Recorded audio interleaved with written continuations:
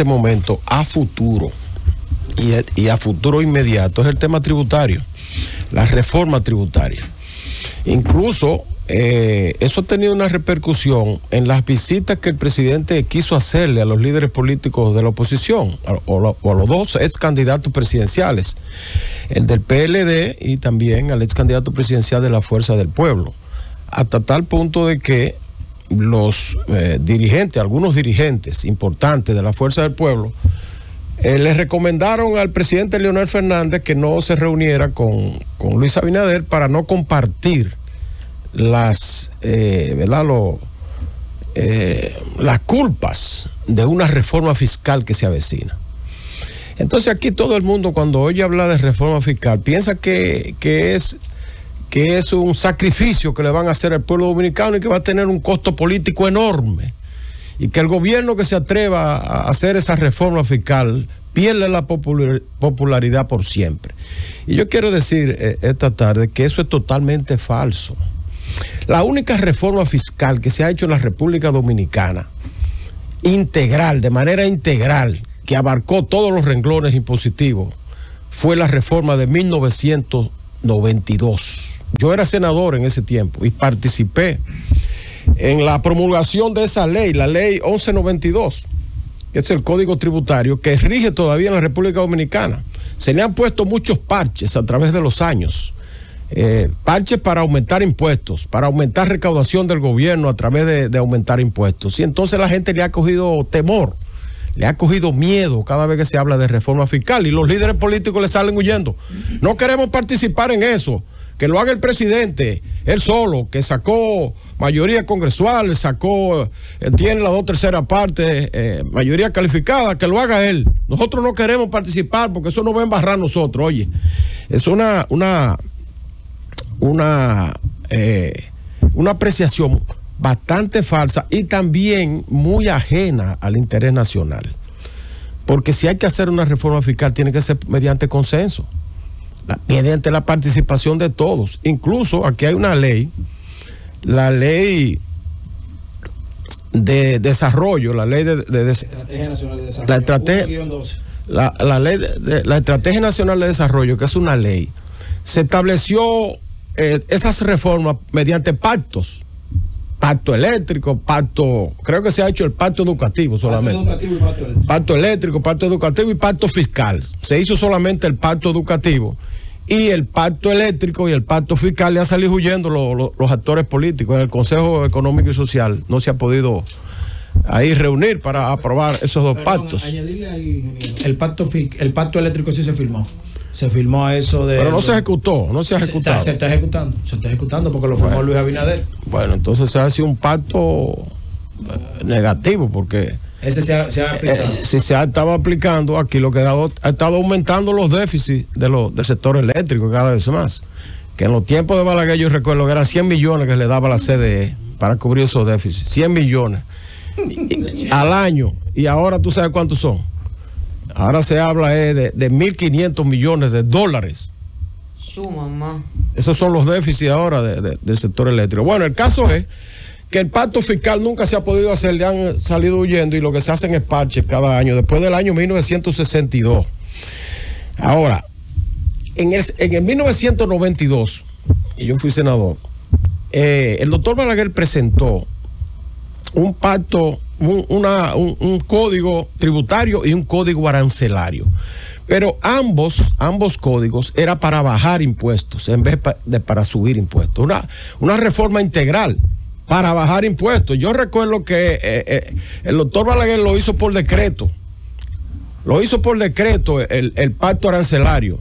Y entonces hubo una discusión en el país que el gobierno no podía hacer eso por decreto porque tenía que ser mediante, mediante una ley. Y, los que defendían eh, eh, la legalidad del decreto decían que eh, cuando se va a aumentar impuestos, entonces tiene que ser por una ley. Pero si el gobierno se va a sacrificar en cuanto a los tributos, a bajar los impuestos, no tiene que ser ley. Porque lo que dice la constitución es que los impuestos se crean mediante una ley del Congreso. Pero si usted lo, si usted lo va a bajar, no tiene que hacer una ley. Bueno, pues se quedó ahí por decreto el, código arancelario, que es lo que pagan, los tributos que se pagan por las importaciones, eh, porque fue bajar impuestos. se bajaron impuestos de algunos productos que pagaban ciento y pico por ciento a, a, a 25, a 30 por ciento. Esta silla jugó una mala jugada. Le está perdón, jugando, a, a- a- Sí. ayúdele ahí, Juan, al son- ingeniero ahí. Esas sillas son automáticas y, y a veces se bajan así. Este ya, programa en ya, vivo. Adelante, adelante. Bien, Continúe. el caso es, señores, cuando comenzó la discusión a principio de, de la actual gestión de gobierno, hubo dos declaraciones luminosas en ese momento, a mi juicio, que fueron la de José Ignacio Paliza, el secretario administrativo de la presidencia, y el presidente de la Asociación de Empresas Industriales de Herrera. Ellos los dos dijeron, si tenemos que hacer una reforma fiscal que sea igual o similar a la de 1992, que sea integral y que consiste en bajar impuestos para aumentar los ingresos del gobierno. Oiga bien, parece una paradoja. Bajar impuestos para aumentar los ingresos del gobierno. Y efectivamente eso fue lo que hizo la reforma del 92. A partir de ahí, los ingresos fiscales de la República Dominicana han venido creciendo de manera exponencial cada año. Y el Producto Interno Bruto ha venido creciendo de igual manera. La República Dominicana ha venido progresando.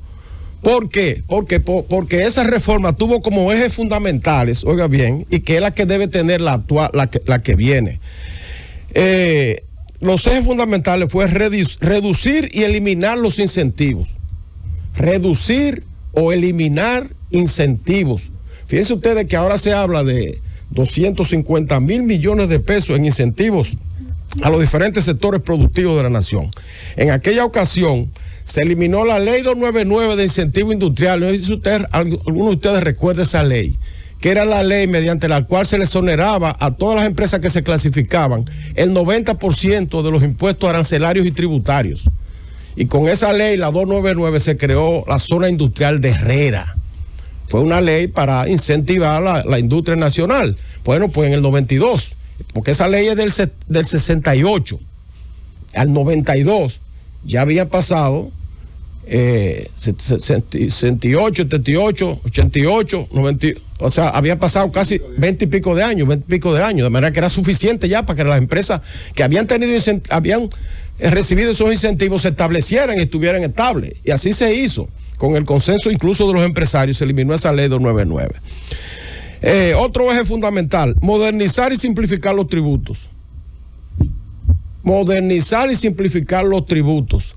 Aquí para tú pagar los tributos tienes que buscar un contador, porque un empresario, pequeño empresario no puede, no entiende toda esa, esa madeja de, de cosas que hay que hacer para tú pagar los impuestos. Si tú le pones una tasa fija, por ejemplo, a los pequeños empresarios, usted no va a pagar de acuerdo a los ingresos, de acuerdo a, la venta de su empresa, no, no, usted va a pagar una tasa fija de un 10% de las ventas que usted tenga. Vamos a suponer, y ya ese, empresario sabe que si vendió un millón, él tiene que llevar eh, eh, 100 mil pesos a la renta. Sin tener que buscar un contador ni llevar libros ninguna especie, de libro complicado y esas cosas. Eh, eso es simplificar, se hizo en el 92 de esa manera.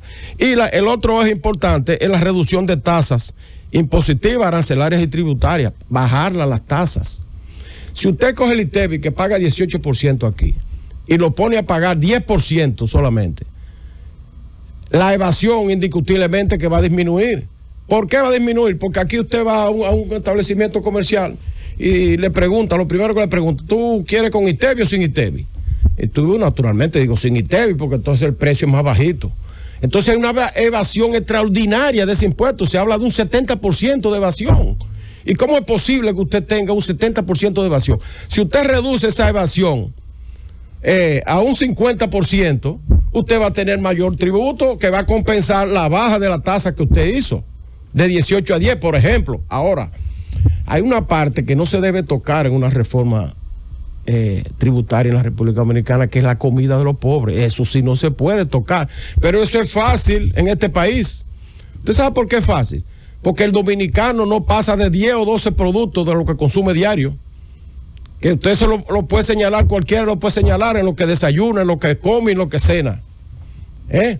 Víveres, leche, huevo, carne, arroz, habichuela, espagueti, bacalao. O sea, son 12 o 13 productos.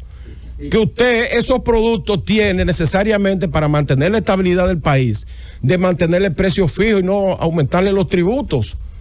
Si usted va a bajar, a, universalizar, por ejemplo, la, el cobro del ITEVI, y lo va a bajar y universalizarlo, esos productos tienen que estar exentos porque esos son los productos que son intocables de la familia dominicana, de los pobres y de incluso clase media que consumen lo mismo. Porque este creo que es el único país donde los ricos, los, los clase media y los pobres consumen lo mismo. Arroz, bichuela y carne al mediodía. Plátano con huevo por la mañana y leche y mantequilla. Y lo mismo en la tarde. Eso es lo que consume aquí todo el mundo. Entonces, en una reforma tributaria hay que preservar eso. Yo pienso que debe ser similar, coincido ahí con Paliza y con la Asociación de Empresas Industriales de Herrera, de que la reforma tributaria en la República Dominicana debe ser para bajar impuestos, universalizar los impuestos y aumentar los ingresos del gobierno para que acometa las obras que está demandando la República Dominicana. Llévatelo, François.